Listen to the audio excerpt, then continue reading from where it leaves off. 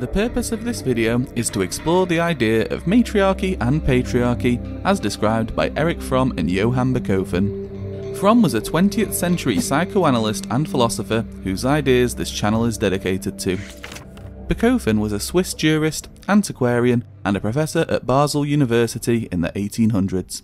Bachofen's theory of the mother right, or Das Mutterrecht, published in 1861, is a key foundation of his approach to the concept of matriarchy and patriarchy. Fromm summarised that it was Bachofen who presented the first major challenge to the naive beliefs that patriarchal society was a natural state of affairs and that man's superiority over women was a self evident matter. He revealed a picture of totally different societal forms and cultures in which women had played the leading role, in which she had been queen, priestess, leader. He brought to light societies in which only descent from the mother mattered, and the father was not recognised as a blood relation of his child. Bachofen believed that matriarchy stood at the beginning of human evolution and that the dominance of the male prevailed only after a long historical process. On the basis of his analysis of religious documents of Greek and Roman antiquity, Bachofen came to the conclusion that the supremacy of women had found its expression not only in the sphere of social and family organisation, but also in religion. He found evidence that the religion of the Olympian gods was preceded by religions in which goddesses, mother like figures, were the supreme deities. On first reading, this felt unexpected, counterintuitive. Indeed, Fromm said that Bachofen's theories of matriarchy were, if not entirely ignored, disputed by most anthropologists. This was also the case in the work of Robert Briffault, who, in The Mothers, continued Bachofen's research and confirmed it by a brilliant analysis of new anthropological data. Joseph Campbell said that one has to keep reminding oneself when reading this perceptive scholar that in Bachofen's day the sites of Helen's Troy and Pasiphae's Crete had not yet been excavated, nor any of those early Neolithic villages that have yielded the multitudes of ceramic naked goddess figurines now filling museum cabinets. Campbell notes that Bachofen himself was impressed by the novelty of his findings. An unknown world, he wrote, opens before our eyes, and the more we learn of it, the stranger it seems. Campbell said that, for his efforts, Bachofen was mercilessly massacred in the academic journals. One of the learned reviewers wrote, 408 closely printed pages full of the queerest, most adventurous dreams, dreams that in their profundity pass, at times, into realms even of consummate imbecility. Marsha Robinson said that Mother Right is such a contradiction that Bachofen's exhaustive search for evidence of matriarchy in classical Greco Roman myths and histories by persons such as Herodotus, Pliny, Strabo, Plutarch, Aristotle, Ovid, Virgil, and Cicero has been dismissed as non historical. Many of the sources that Bachofen used failed to follow the rules of history established by Leopold von Ranke in the 19th century. Bachofen experienced something that many scholars of African, indigenous American, Asian, and pre Roman European history also encounter. Fromm said that there is little doubt that many single objections to the matriarchal theory are justified. Nevertheless, Bachofen's main thesis that we find an older layer of matriarchal religion underneath the more recent patriarchal religion of Greece seems to me to be established by him beyond any doubt. Both the historical question of matriarchy and the problem of gender are central to Bachofen's work. However, one of the aims of this video is to demonstrate that the full scope of this subject amounts to more than a debate about who is most oppressed, historically or today. Although the battle of the sexes is part of the problem, it isn't necessarily the central axis that it is often presented to be.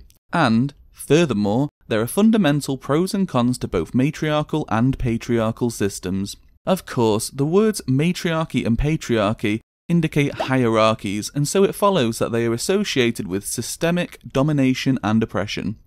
However, Fromm crucially stated that the difference between the patriarchal and matriarchal order goes far beyond the social supremacy of men and women respectively, but is one of social and moral principles.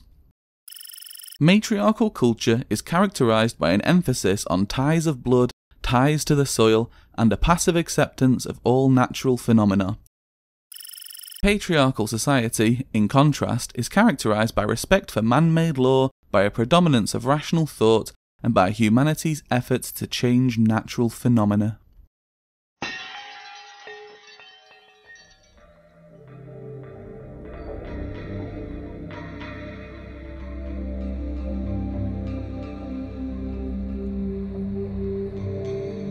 The words matriarchy and patriarchy specify systems of hierarchy. In line with Bachofen and Fromm, the matriarchal and patriarchal principles go beyond this, but it is worth stating that systemic hierarchy is a patriarchal rather than a matriarchal principle. Fromm said that the matriarchal principle is that of unconditional love, natural equality, emphasis on the bonds of blood and soil, compassion and mercy. The patriarchal principle is that of conditional love, hierarchical structure, abstract thought, man made laws, the state, and justice. Fromm also warned that the purely matriarchal society stands in the way of the full development of the individual, thus preventing technical, rational, artistic progress. The purely patriarchal society cares nothing for love and equality. It is only concerned with man made laws, the state, abstract principles, obedience. Fromm touched upon how this can manifest in relationships between parents and children. He saw a negative expression of the matriarchal principle as motherly overindulgence and infantilization of the child, preventing their full maturity. Whereas for the patriarchal principle, he warns fatherly authority can become harsh domination and control based on the child's fear and feelings of guilt.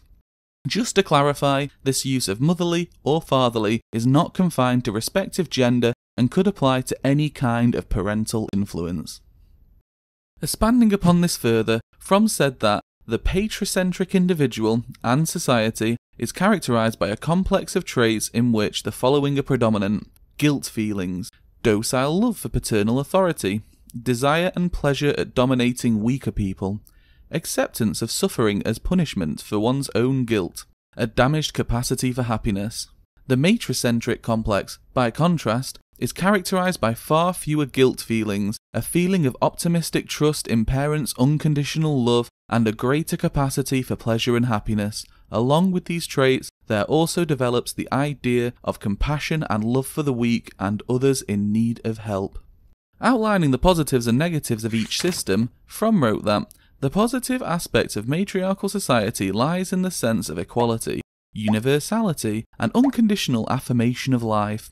The negative aspect lies in its bondage to blood and soil, its lack of rationality and progress.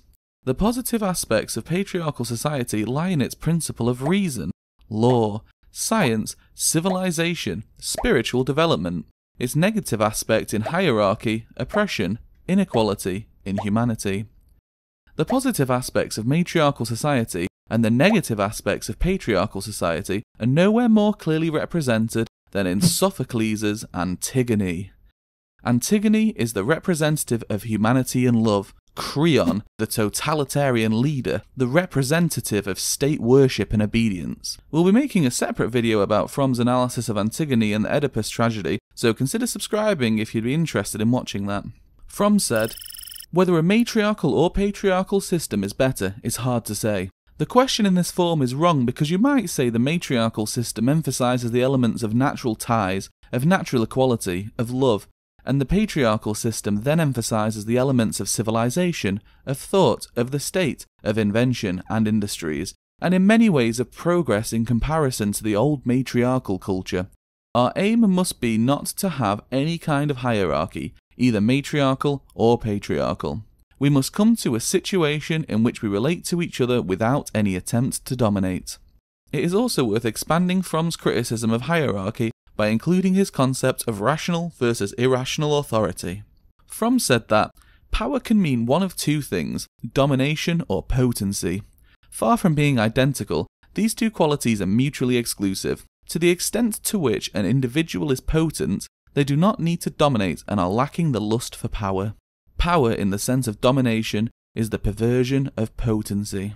It is widely believed that we are confronted with the alternative of having dictatorial, irrational authority or of having no authority at all. This alternative, however, is fallacious. The real problem is what kind of authority we are to have. When we speak of authority, do we mean rational or irrational authority? Rational authority has its source in competence. The person whose authority is respected functions competently in their task. They need not intimidate people, nor arouse their admiration by magic qualities, as long as they are competently helping, instead of exploiting, their authority is based on rational grounds and does not call for irrational awe. Rational authority not only permits, but requires constant scrutiny and criticism of those subjected to it. It is always temporary. Its acceptance depending on its performance. The source of irrational authority, on the other hand, is always power over people. This power can be physical or mental. Power on one side, fear on the other, are always the buttresses on which irrational authority is built. Criticism of the authority is not only not required, but forbidden. Rational authority is based upon the equality of both authority and subject, which differ only with respect to the degree of knowledge or skill in a particular field.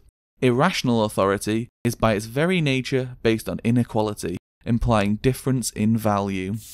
Likewise, Fromm wrote that the relationship between teacher and student and that between slave owner and the slave are both based on the superiority of one over the other. The interests of teacher and pupil lie in the same direction. The teacher is satisfied if they succeed in furthering the pupil. If they have failed to do so, the failure is theirs and the pupil's.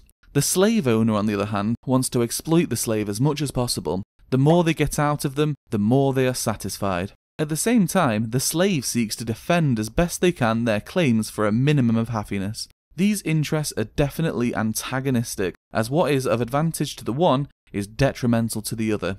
The superiority has a different function in both cases. In the first, it is the condition for the helping of the person subjected to authority. In the second, it is the condition for their exploitation.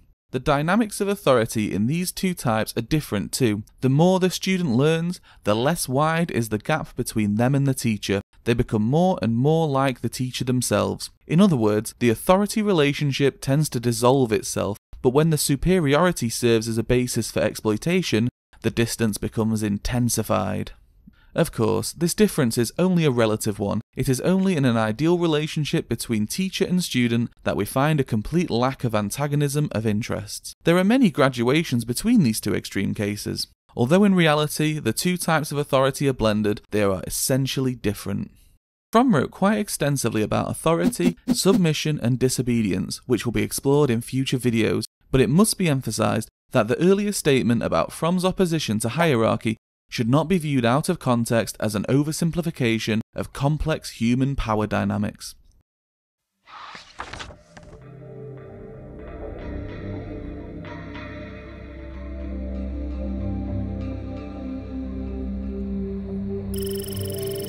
In Fromm's words, equality implies that despite our differences, no person should be made a tool for the purpose of anyone else, that every human being is an end and a purpose in themselves. This means that each person is free to develop their peculiarity as an individual, as a member of a given sex, and as a member of a given nationality. Equality does not imply the negation of difference, but the possibility for its fullest realization, the unfolding and development of the peculiarities of each person. In using the word peculiarities, Fromm said, I should like to remind you how strange a fate this word has had.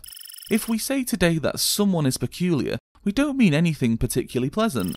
Yet this should be the greatest compliment we can pay. Saying that someone is peculiar should mean that they have not given in, that they have retained the most valuable part of human existence, their individuality, that they are a unique person, different from anyone else under the sun. Each person is a universe for themselves and is only their own person. Our goal is the realization of our being, including those very peculiarities which are characteristic of us and make us different from others. Equality is the basis for the full development of difference, and it results in the development of individuality.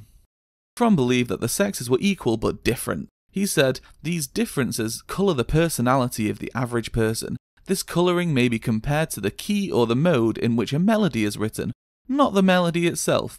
These quote unquote natural differences are blended with differences brought about by the specific culture in which people live. Whilst the question of nature versus nurture is a pertinent one, Fromm emphasises another point. He warns against a certain mindset which cannot help but confuse difference with inequality. They are influenced in their thinking by their contempt for anyone who has less power than themselves and by their quote unquote love for those who are powerful. A human relationship based on respect for the dignity of every person simply escapes them.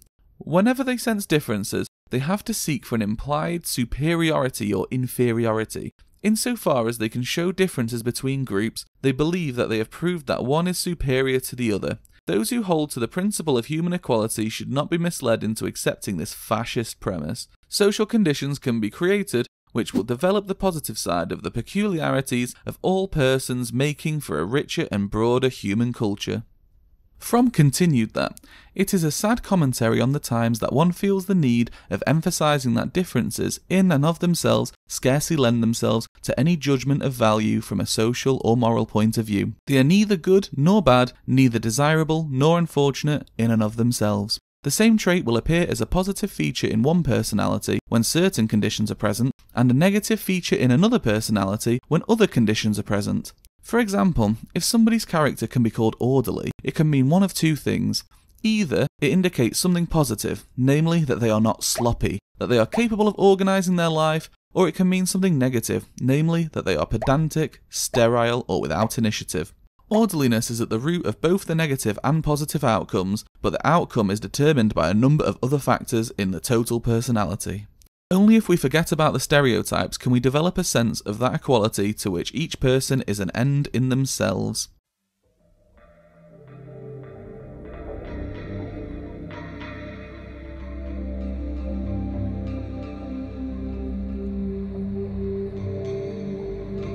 Joseph Campbell said that, in Bachofen's 19th century, the Hegelian concept of a dialectic of statement and counterstatement thesis and antithesis in the rolling tide of history was a commonly accepted thought. Bachofen saw the dialectic as of the mothering, feminine, earth oriented, and the masculine, mastering, idea and heaven oriented powers.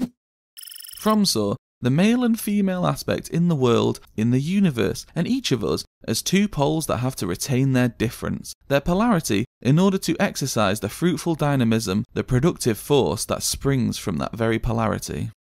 You would not say of the positive or negative pole of an electric current that one is inferior to the other. You would say that the field between them is caused by their polarity, and that this very polarity is the basis of productive forces. Certain symbols express this difference day and night, sun and moon, left and right. Another interesting reference Fromm includes his matriarchy as the realm of love and the blood bond as opposed to the male Apollonian realm of consciously deliberated action. The Apollonian realm, after the Greek god Apollo, can be understood in opposition to the Dionysian realm, named after the god Dionysus. Apollo was known as the god ruling the sun, light, archery, art, poetry, and healing, amongst other things. Dionysus was the god of wine and winemaking, fertility, ritual madness, and festivity, amongst others. Correspondingly, the Apollonian realm inspires reason, order, intellect, whereas the Dionysian realm is associated with amorality, primal instincts, and chaos. Nietzsche wrote about these dialectic principles in books such as The Birth of Tragedy. The patriarchal principle and the Apollonian realm correspond very closely. However, the Dionysian realm does not run parallel to the matriarchal principle in the same way. The unconscious lawfulness Bachofen speaks of is quite distinct from the Dionysian principle of chaos and amorality. In matriarchal culture, we have confinement to matter. In patriarchal culture, we have intellectual and spiritual development. In the former, we have unconscious lawfulness. In the latter, individualism. Fromm speaks of the sun and the moon as symbols of polarity, a masculine sun and a feminine moon. Apollo is god of the sun, and interestingly, Fromm said that light is always and everywhere a symbol of the male principle. He also comments that the waxing and waning of the moon is closely connected to the thoughts and desires ancient people had concerning death and resurrection. It is not until agriculture is introduced that the sun plays an ever greater role. George Boas saw life and death as an integral part of this polarity, he said, The fundamental duality of existence was observed in the opposition of male and female, of the active and the passive, of heaven and earth, of the sun and the moon. Such duality could not be left unresolved. At a time when abstract science was not yet formulated, people had to express their ideas in symbols which were clear to them, as the symbols of mathematicians are clear to us, and such symbols remain in the form of myths, Pliny describes a picture by Socrates the painter in which Ocnus is shown twisting a rope while, behind his back, a donkey gnaws off the end which he has just twisted. Creation then is but one end of destruction, destruction the beginning of creation. The beauty of myth and symbol lies in their synthetic power. In the picture of Ocnus, both the beginning and the end are seen in a single glance as united. As a picture, it is composed of discrete elements the man, the rope, the donkey, but as a symbol, it is unified by its meaning. Referring to the same painting, Bachofen said that, in opposition to the creative, increasing activity, there is an activity which dissolves and diminishes. Two forces are locked together in eternal battle. Two equal currents oppose one another, and through their antagonism, the eternal youth of creation is preserved. What is the number of living compared to the incalculable hordes of the dead? What is the span of time allotted to the living compared to the eons, forever augmented by the fleeting present moment? It becomes a mere mask worn for one brief moment. All these ideas are suggested by the end of the rope, all that remains of centuries of work. This is probably my favourite Bachofen quote. Bachofen also stated that it has been said that myth, like quicksand, can never provide a firm foothold.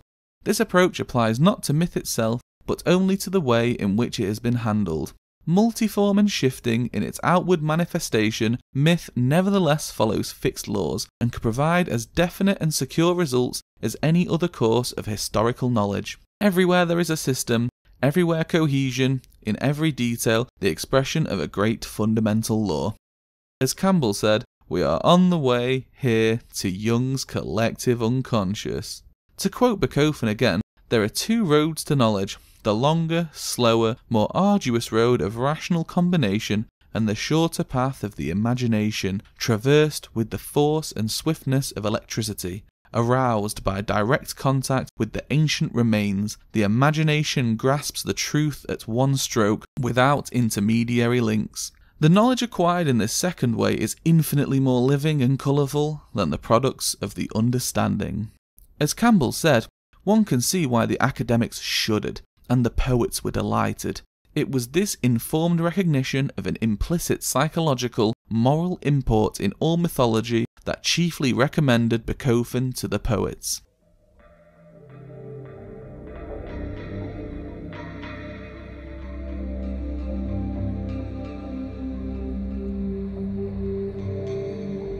Philosopher Kelles-Krauz said that, according to Bachofen, matriarchal society was a primeval democracy where sexuality was free of Christian depreciation, where maternal love and compassion were the dominant moral principles, where injury to one's fellow people was the gravest sin, and where private property did not yet exist. Campbell said that sex was motivated by lust and with no understanding of the relationship of intercourse to conception. Engels references this in his Origin of the Family, Private Property and the State, saying Bachofen pointed out that the ancient classical literature gives us many indications that monogamy was preceded by a prior state. He has shown that the line of descent originally was traced only through the female line, from mother to mother. In Fromm's words, Bachofen suggested that in the beginning of human history, sexual relations were promiscuous, that therefore only the mother's parenthood was unquestionable. To her, only could consanguinity be traced, and she was the authority and lawgiver, the ruler both in the family group and in society.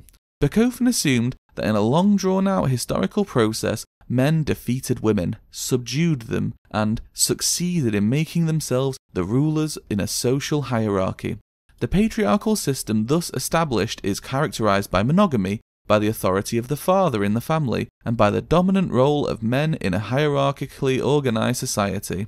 The religion of this patriarchal culture corresponded to its social organization. Instead of the mother goddess, male gods became the supreme rulers.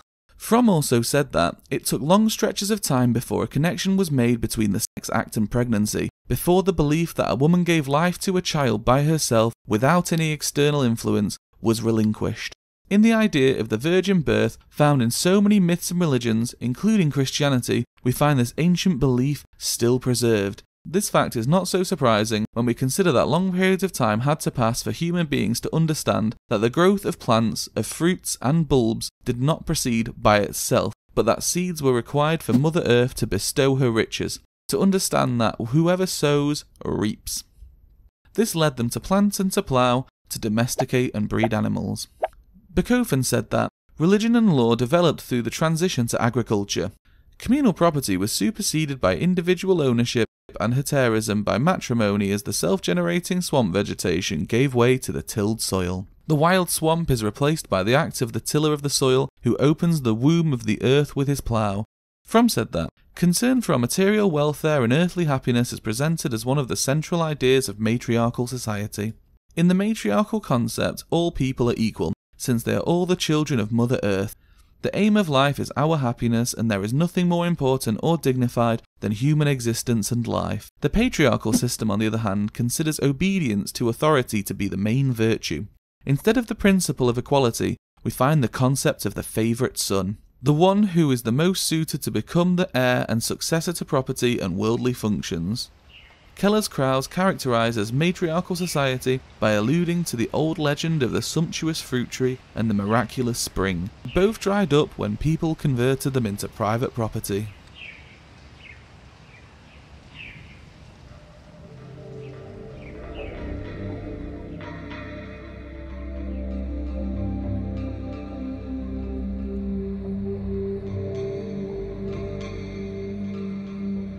Fromm stated that mercy and justice represent the matriarchal and patriarchal principles respectively. Bachofen characterized matriarchal law as an unconscious lawfulness, as the equity of the left hand, often in opposition to the strictly formal logic of the civil law.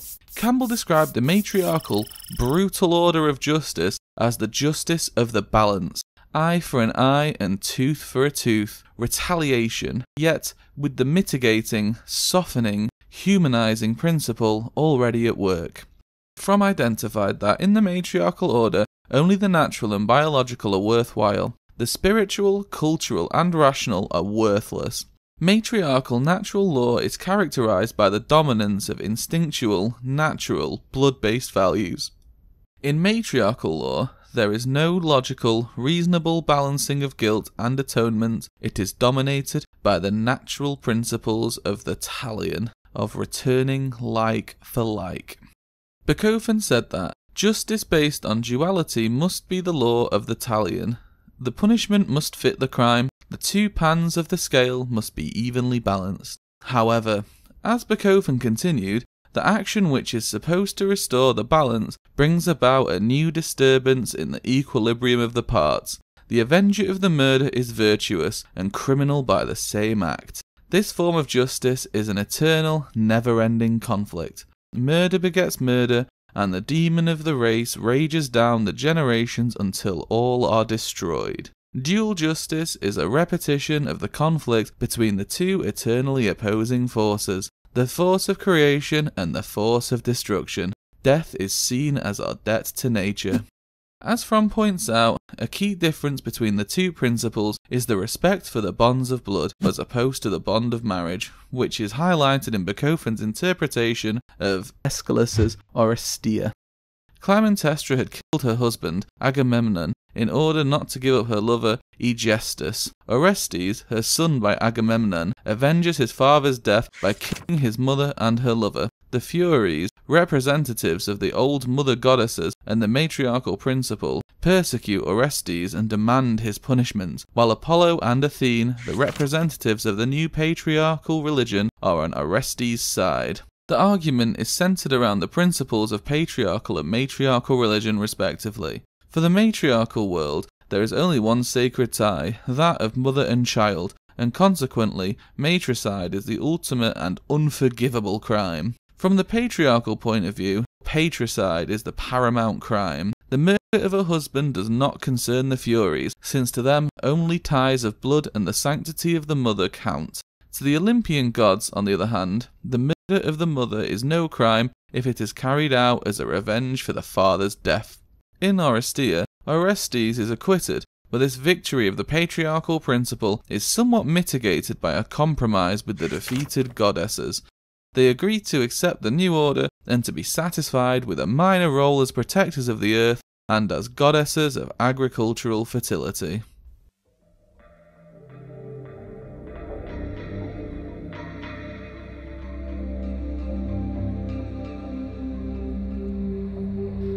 Bachofen said that the ancients looked on marriage as an agrarian relationship and borrowed the whole terminology of marriage law from agricultural conditions. We find expressions such as to plough, to sow seed, to plant. Now we can understand the full meaning of a custom recorded by Plutarch, namely, that the newly wedded bride and groom were shut up in their chamber with the priestess of Demeter. The mystery of the seed grain was the mystery of marriage. Fromm said that marriage has an essentially economic function and is by no means a quote unquote natural arrangement. Thus, it is not linked, not even in its origins, to claims to the exclusive sexual possession of a partner. Fromm argued that matriarchal societies are characterized by a high degree of sexual freedom and laxity. That form of morality which demands chastity arises along with evolution of patriarchal society and the economic conditions underlying it. Chastity was first a ritual requirement for attaining magical powers, as in the Near East, Egypt, and Greece, and a civic virtue, as in Rome. It was not until the advent of Christianity that chastity attained the status of a high ethical or religious value. The gradual change that Christian rigour brought about in sexual attitudes expressed itself first in literature and then gradually, albeit never completely, in social life. For centuries, sexuality has been stigmatized as morally bad and at best morally indifferent if sanctioned by the sacrament of marriage. Every activity which was not for the purpose of procreation and particularly all deviances, were considered to be morally evil. The general assumption underlying this attitude was that our flesh was a source of corruption and that only by suppressing instinctual demands could goodness be achieved. Freud accused his culture of sacrificing mental health to the demands of Puritan morality. But another effect of sexual taboos is no less important the development of intense guilt feelings in every individual. Since almost every human being has sexual strivings, these very strivings must become an inexhaustible source of guilt feelings if they are stigmatized by the culture as evil. Guilt feelings make a person prone to submit to authorities which want to use and subdue them for their own ends. Indeed, maturity and happiness conflict with the existence of an all pervasive sense of guilt. These guilt feelings are of great social importance. They account for the fact that suffering is experienced as just punishment for one's own guilt, rather than blamed on the defects of the social organization. This eventually causes emotional intimidation, limiting people's intellectual and especially their critical capacities, while developing an emotional attachment to the representatives of social morality.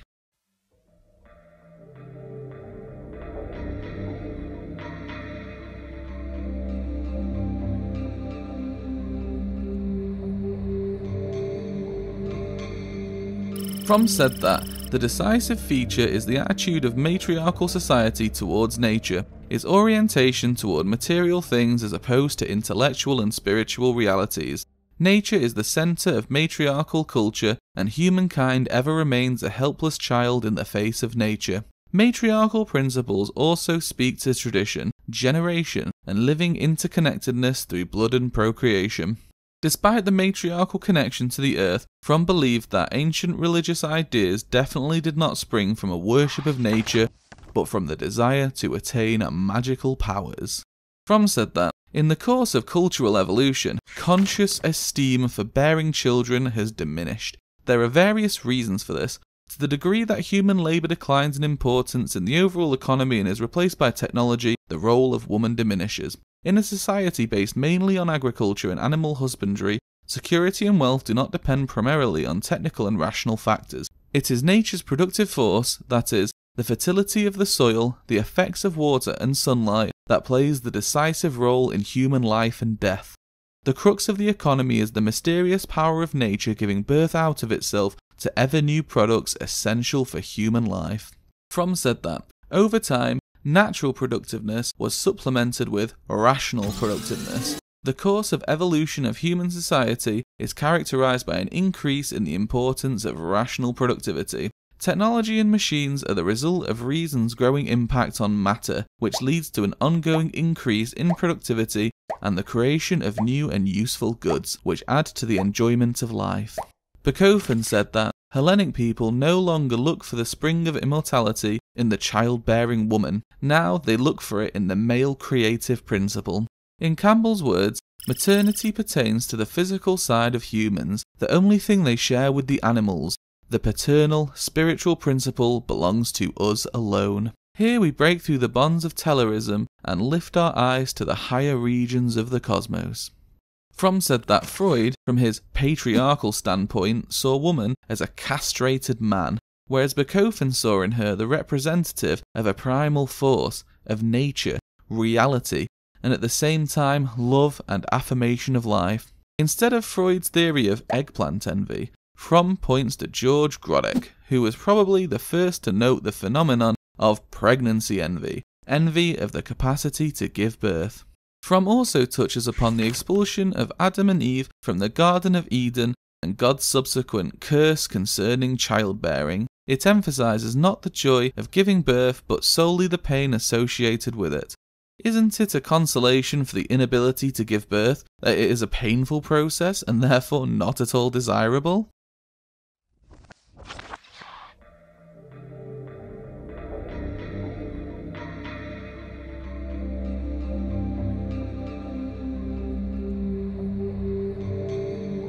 Fromm said that the document that most powerfully exemplifies an extremely patriarchal attitude is the Old Testament. And Adam said, This is now bone of my bones, and flesh of my flesh. She shall be called woman, because she was taken out of man. Fromm said that, in this account, the paradox of the man giving birth is presented. Nature has been turned upside down, it is he who gives birth, his chest serving as the uterus. The woman is dangerous, she is the evil principle, and the man stands in fear of her. She took the fruit thereof, and did eat, and gave also unto her husband with her, and he did eat. The woman lacks self restraint, is sensual and reckless. She seduces the man with her desire which he cannot resist. As a result, he meets with disaster. This expresses clearly and dramatically man's fear of woman and his accusation that she is a seductress who brings ruin. The Babylonian myth, too, is the expression of a male patriarchal religion and societal order, but one in which far more matriarchal values remain than in the Old Testament, and which therefore provides an extremely valuable complement to it. Fromm said that the Babylonian epic of creation, which was written most probably at the time of the Hammurabi dynasty, has a specific political motivation. The political capital, Babylon, was also to be made the religious centre of the land, with the patron god of Babylon, Marduk, becoming the supreme god of the entire land. The creation myth has the function of validating Marduk's claim to dominance by showing his place in the history of the gods and humankind. But this installation of a supreme male god as ruler of the world is carried out in a far less radical and encompassing way than in the Bible. The Babylonian myth of creation tells us of a victorious rebellion of male gods against Tiamat, the great mother who ruled the universe. They form an alliance against her and choose Marduk to be their leader in this fight. After a bitter war, Tiamat is slain. From her body, heaven and earth are formed, and Marduk rules as supreme god. The biblical myth begins where the Babylonian myth has ended. The supremacy of a male god is established, and hardly any trace of a previous matriarchal stage is left.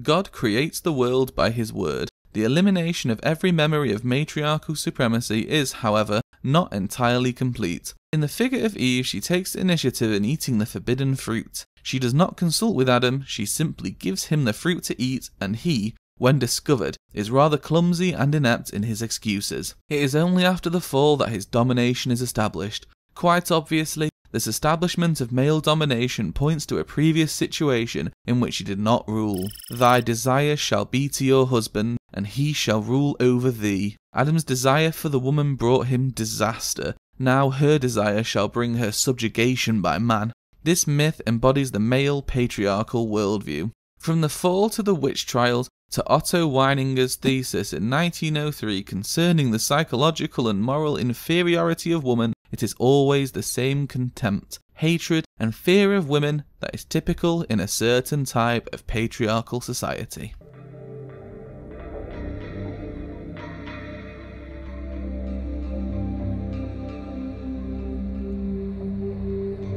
In the introduction, we touched upon some of the criticism that Bachofen initially provoked, as well as receiving criticism, Fromm said that some enthusiastic approval of the matriarchy theory came from two camps that were radically opposed to each other both ideologically and politically. Bachofen was first discovered and extolled by the socialist camp, by Marx, Engels, Bebel, and others. Then, after decades of relative obscurity, he was again discovered and extolled by anti socialist philosophers such as Klages and Baumler. Over against these two extremes stood the official scholarship of the day, forming practically a solid front of rejection or outright ignorance. In recent years, the problem of matriarchy has played an ever increasing role in scholarly discussions. Some agree with the matriarchal view, some reject it, almost all reveal the emotional involvement with the subject.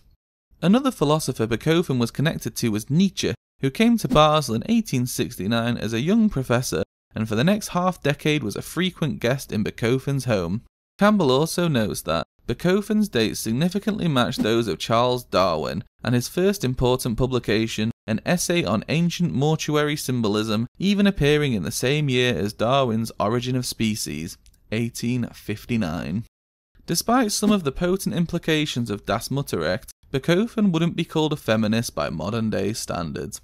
Indeed, Fromm observed a sharp contradiction between the Bachofen who admires gynocratic democracy and the aristocratic Bachofen of Basel who opposed the political emancipation of women. Fromm described Bachofen's attitude to matriarchal society as quite ambivalent. In a great part of his writings, his sympathy with the matriarchal principle finds expression. In other parts, he sides with the victorious Olympian gods. Fromm's own thinking was directly informed by Bachofen's work, Nevertheless, Fromm did not believe that all Bachofen's theories were correct. The history of ideas is the history of errors, and Bachofen is no exception to this rule. But what matters is the kernel of truth in an idea, and the fruitfulness of this very kernel for future thought. In this respect, Bachofen is one of the most fruitful and most advanced thinkers. If it is true, as Aristotle says, that like can be grasped only by like, then the divine cannot be apprehended by the rationalistic self conceit that sets itself above history. Abundance of information is not everything, it is not even the essential.